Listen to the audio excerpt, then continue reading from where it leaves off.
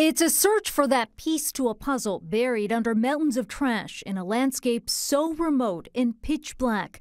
The search area more than 40 times the size of Los Angeles. You're not only fighting your depths, you're fighting maneuvering down there, but now you're fighting the ocean trying to pull you a different way. Eric Crumpton builds and runs remotely operated vehicles, or ROVs, for global diving and salvage in Seattle. He's recovered everything from tanker trucks to planes. He says every job is a delicate maneuver, complicated by the harshest elements. What conditions are crews dealing with here?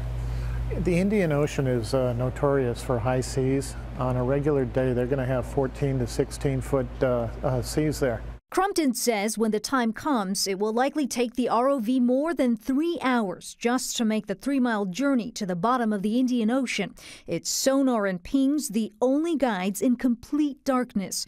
Pilot Warren Poston maneuvers the ROV to begin the task of salvaging once wreckage is found. That's actually looking out of the ROV camera. A control room similar to this usually sits on the ship above the wreckage. Poston manipulates these tiny claws to maneuver his way to the debris. Take a look at this operation off the big island of Hawaii. The ROV using power tools underwater to fix a pipeline. Here, the robot struggles to pick up a small tool. This operation alone took two weeks in 2,000 feet of water, a small task compared to retrieving MH370's flight recorder, which could be about three miles underwater. You just sift through the trash until you, you find it. You might need to pull every piece of that trash up before you find it laying under something.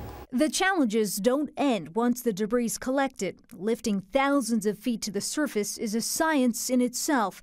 Sometimes it takes several trips, the journey three hours each way. The most dangerous portion of, of, any recovery is getting that from the water onto the surface. It's not just objects either. 239 people were on board Malaysia Flight 370. Warren Poston's recovered other plane crashes. He's seen the graves that remain. How hard is that? Uh, it's, I guess it wouldn't be any different than a, a fireman or a policeman or a soldier. You know, it's a job. Keeping emotions in check, the delicate balance crews face while retrieving clues to an underwater mystery. Akiko Fujita for CNN, Seattle.